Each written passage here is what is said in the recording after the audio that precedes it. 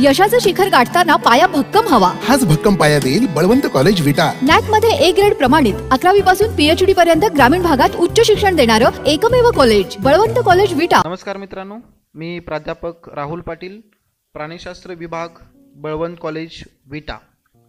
मित्रांनो जगभरामध्ये हाहाकार उडवणारा हा करोना विषाणू आला कुठून? हा प्रश्न सध्या सर्वांना भेडसावतोय. करोना व्हायरस पसरू नये तो आपल्याला होऊ नये आपल्यामुळे इतरांना होऊ नये. नेमकी करोनाची लक्षणे कोणती आहेत? ही लक्षणे तुमच्यामध्ये दिसत असतील तर सर्वप्रथम तुम्ही काय केले पाहिजे? या ना त्या प्रकारची करोनाबद्दलची प्रत्येक शंका प्रत्येक प्रश्न आणि त्याची उत्तरे आज आपण या व्हिडिओच्या माध्यमातून जाणून घेणार आहोत. चला तर मित्रांनो जाणून घेऊया करोनाविषयी चला तर मित्रांनो माहिती करून घेऊया करोनाविषयी. करोना हे एका विषाणू समूहाचे नाव आहे. हे विषाणू भारतात यापूर्वीपासून माहीत आहेत. दोन हजार तीनमध्ये आढळलेला सार्स आजार असेल किंवा दोन हजार बारामध्ये आढळलेला मर्स हा आजार असेल. दोन हजार तीनमध्ये आढळलेला सार्स म्हणजे सिव्हिअर अक्यूट रेस्पायरेटरी सिंड्रोम व दोन हजार बारामध्ये आढळलेला मर्स म्हणजे मिडल ईस्ट रेस्पायरेटरी सिंड्रोम. या दोन्ही आजारांच्या नावावरून आपल्याला लक्षात येईल की हे दोन्ही आजार आपल्या रेस्पायरेटरी सिस्टीम म्हणजेच श्वसन संस्थेशी निगडीत आहेत. खरं तर डिसेंबर दोन हजार एकोणीसमध्ये चीनच्या वुहान शहरात सुरू झालेल्या या उद्रेकामध्ये जो करोना विषाणू आढळला तो यापूर्वीच्या दोन्ही करोना विष करोना विषाणूपेक्षा थोडासा वेगळा आहे. म्हणून या विषाणूला यन कोविड एकोणीस असं नामांकरण करण्यात आलेलं आहे. यन म्हणजे नोवेल नवीन. सीओ म्हणजे करुणा. व्ही आय म्हणजे व्हायरस. डी म्हणजे डिसीज आजार. एकोणीस म्हणजे दोन हजार एकोणीस. यन कोविड दोन हजार एकोणीस. खरं तर मित्रांनो करोनाच्या मूळ स्थानाबद्दल आपल्याला माहिती घ्यायची असेल तर बऱ्याच शास्त्रज्ञांच्या मते हा करोना व्हायरस प्राणी जगतात येण्याचं कारण आहे वटवाघूळ मित्रांनो करोना विषाणूची लक्षणे जर आपण लक्षात घेतली तर ही मुख्यत्वे श्वसन संस्थेशी निगडीत आहेत. ती सर्वसाधारणपणे इन्फ्लुएन्झा आजारासारखीच आहे म्हणजेच सर्दी असेल खोकला असेल श्वास घ्यायला त्रास होणे ताप असेल निमोनिया असेल काही वेळा मूत्रपिंड निकामी होणे अशी लक्षणे सुद्धा आढळतात. मित्रांनो सर्दी हा सर्वसाधारण आजार आहे. आपल्याला कोणत्याही बॅक्टेरियाची किंवा विषाणूची बाधा झाली तर आपल्याला सर्दी ही होतेच. मुख्यत्वे या आजारामध्ये रनिनोज वाहतं नाक असं असेल तर काही काळजी करण्याची गोष्ट नाही आहे. कारण वाहतं नाक हे करोना व्हायरस या आजाराचं लक्षण नाही आहे. खोकला खोकल्याचे दोन प्रकार आहेत. कोरडा खोकला आणि ओला खोकला. तर मुख्यत्वे या आजाराचं लक्षण आहे कोरडा खोकला. आणि खोकत असताना जर हा आजार सिव्हिअर असेल तर खोकना खोकल्यामधून रक्ताचा श्राव होणे त्याचबरोबर श्वसन घेत असाल तर श्वसन घ्यायला आपल्याला त्रास होतो. बॉडीचं टेम्परेचर वाढतं ताप वाढतो. ही काही मुख्यत्वे करोना व्हायरसची लक्षणं आहेत.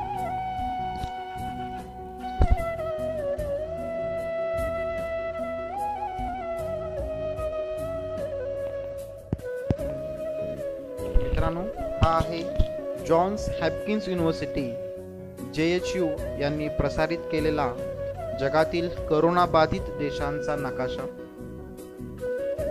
यानुसार आपल्याला दिसून येते की जगामध्ये जवळजवळ नव्वदपेक्षा जास्त देशामध्ये या रोगाचा प्रादुर्भाव झालेला आहे. जर आपण जगाचा विचार केला तर आतापर्यंत जगामध्ये साधारण एक लाख छप्पन हजार नऊशे दहा केसेस रिपोर्ट केलेल्या आहेत. आपल्या सर्वांना माहीत आहे या आजाराचं मूळ स्थान आहे चायनाचा वुहान शहर. आणि या चायनामध्ये जवळजवळ एक लाखपेक्षा जास्त पेशंट आतापर्यंत रिपोर्ट केलेला आहे. जसं की मी तुम्हाला आत्ताच सांगितलं की साधारण नव्वदपेक्षा जास्त देशामध्ये हा रोग या रोगाचा प्रादुर्भाव आढळून आलेला आहे. त्याच्यामध्ये सगळ्यात जास्त हा सगळ्यात जास्त पेशंट्स आहेत चायनामध्ये. त्याच्यानंतर Italy Iran Korea France Spain Germany U S Norway Japan असे देश आहेत. जर भारताचा विचार करायचं झालं तर सगळ्यात तळामध्ये आहे आपला भारत देश. याच्यामध्ये फक्त एकशे पाच पेशंटची नोंद करण्यात आलेली आहे. जर महाराष्ट्राचा विचार करायचा झाला तर महाराष्ट्रामध्ये आतापर्यंत बत्तीस पेशंटची नोंद करण्यात आलेली आहे. त्या बत्तीस पेशंटपैकी कालच दोन पेशंटचा दोन पेशंट मृत्युमुखी पडलेले आहेत. जर मृत्युमुखी पडणाऱ्याचा रेट म्हणजेच मृत्यू दर जर पाहिला तर हा साधारण दोन टक्के आहे. म्हणजेच जर आपण पाहिलं की हा आजार साधारण एक लाख छप्पन हजार नऊशे दहा लोकांना जगामध्ये झालेला आणि त्यापैकी फक्त पाच हजार आठशे एकोणचाळीस लोक दगावलेले आहेत मृत्युमुखी पडलेले आहेत. म्हणजेच फक्त दोन टक्के लोक साधारण दोन ते तीन टक्के लोक या आजारामुळे मृत्युमुखी पडलेले आहेत. खरं तर आनंदाची बातमी अशी आहे की जवळजवळ पंच्याहत्तर हजारपेक्षा जास्त लोक या आजारापासून स्वतः बचावलेले आहेत. कारण डब्ल्यू एच ओनं सांगितल्यानुसार या आजारावर आत्तापर्यंत कोणतेही औषध किंवा कोणतीही लस W H O W H ओनं प्रिस्क्राईब केलेली नाही आहे. मित्रांनो नुकतंच डब्ल्यू एच ओनं या आजाराला जागतिक महामारी असं घोषित केलेलं आहे. मित्रांनो हा आजार नक्की पसरतो कसा हे थोडक्यात माहिती करून घेऊया. हा आजार ज्या व्यक्ती बाधित आहेत त्या बाधित व्यक्तीच्या शिंकण्या किंवा खोकल्यातून जे थेंब बाहेर पडतात त्यातून पसरतो. शिवाय शिंकण्या खोकल्यातून उडणारे थेंब आजूबाजूच्या पृष्ठभागावर पडतात. अशा पृष्ठभागांना जर आपण स्पर्श केला तर त्या त्यातून तो आपल्या निरोगी लोकांच्या शरीरामध्ये प्रवेश करतो आणि त्या निरोगी व्यक्तीला तो विषाणू बाधित करतो. मित्रांनो हा विषाणू साधारण लोखंडाच्या वस्तूवर साधारण बारा ते चौदा तास जगू शकतो. फॅब्रिकचे जे विषाणू फॅब्रिकचे जे वस्तू आहेत त्या फॅब्रिकच्या वस्तूवर किंवा प्लास्टिकच्या वस्तूवर हा विषाणू साधारण साडेसहा ते सात तास जगू शकतो. तसेच आपल्या हातावर हा विषाणू अगदी दहा पंधरा मिनटं जगू शकतो. अशा प्रकारे हा या विषाणूचा प्रसार होऊ शकतो. मित्रांनो हा आजार होऊ नये म्हणून आपल्याला कोणती काळजी घ्यायला पाहिजे? आपल्याला माहीत आहे करोना हा श्वसनावाटे पसरणाऱ्या आजारातील एक प्रकार आहे. त्यासाठी आपल्याला काय केलं पाहिजे? आहे सगळ्यात महत्त्वाचं श्वसन संस्थेचे विकार असणाऱ्या व्यक्तीशी संपर्क आपण टाळला पाहिजे आहे.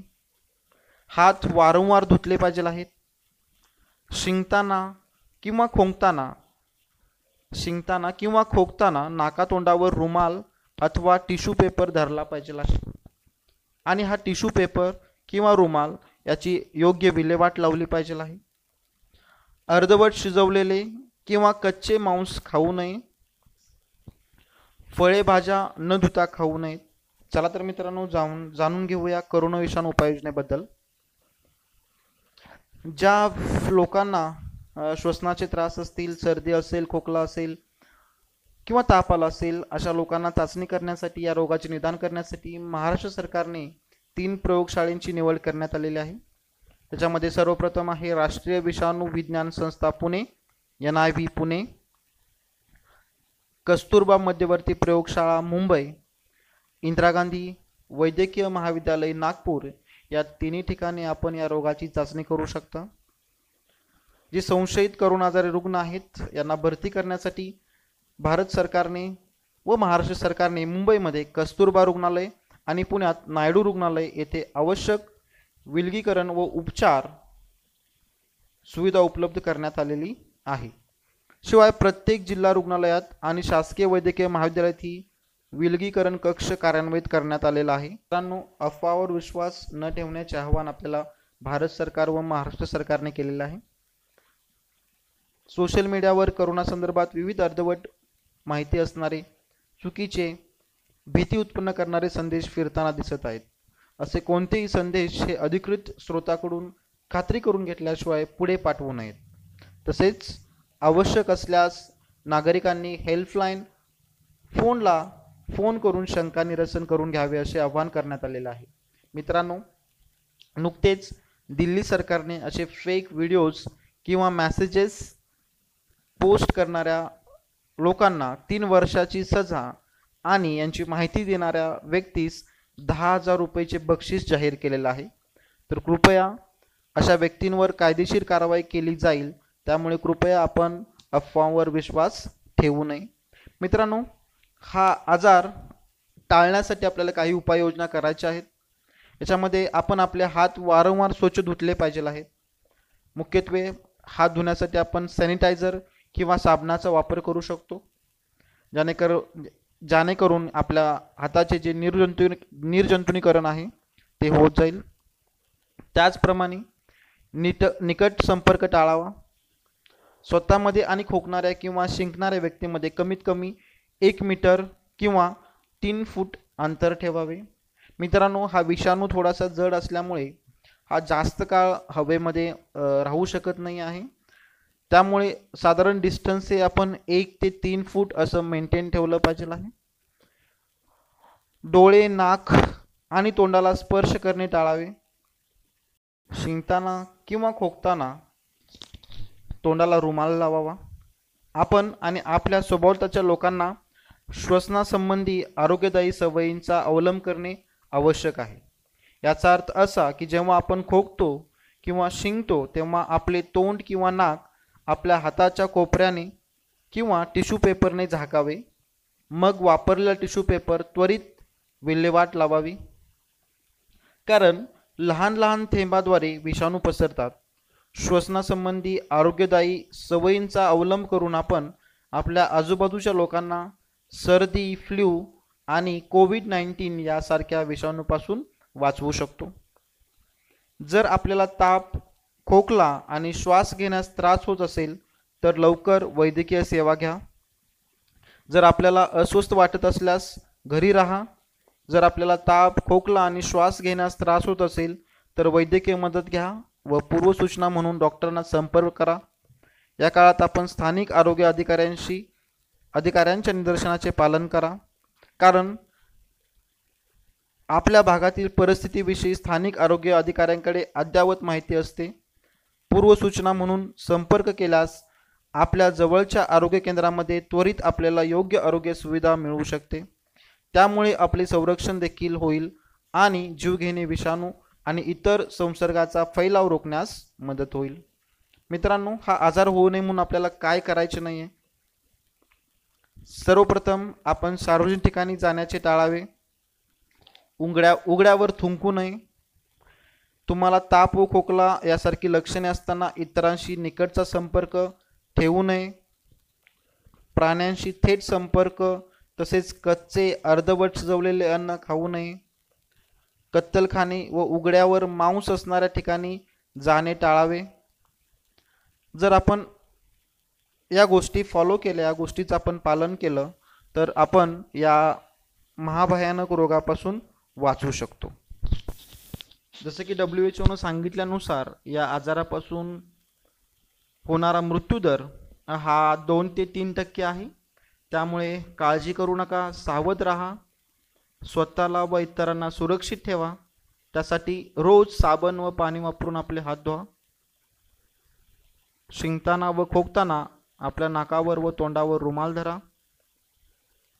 सर्दी किंवा फ्ल्यू यासारखी लक्षणे आढळल्यास लोकांशी नजीकचा संपर्क टाळा. मांस आणि अंडी पूर्णपणे शिजवून व उकळून घ्या.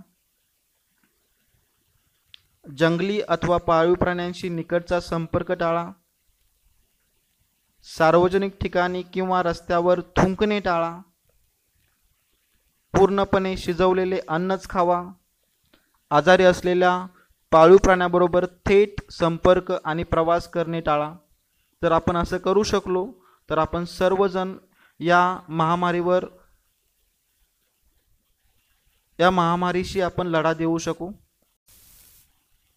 मित्रांनो डोळ्याला दिसूही न शकणाऱ्या एका सूक्ष्म जीवामुळे सारं जग हैराण झालंय. एरवी मेडिकल सायन्सला माहीत असणाऱ्या विषाणूंचा प्रादुर्भाव झाला तर त्यावरती कोणतं औषध द्यायचं किंवा कोणती लस द्यायची याविषयी संशोधन झालेलं असतं. ती माहिती डॉक्टरपर्यंतही पोचलेली असते. परंतु या करोनाविषयी आपल्याकडे कोणते औषधी नाही आहे किंवा कोणती लसही उपलब्ध नाही. आणि म्हणून त्याचा प्रसार रोखणं हेच तज्ज्ञांच्या मते अतिशय महत्त्वाचं आहे. म्हणून सारेजण एकत्र येऊन याचा प्रसार रोखूया आणि भारत सरकारला मदत करूया. धन्यवाद.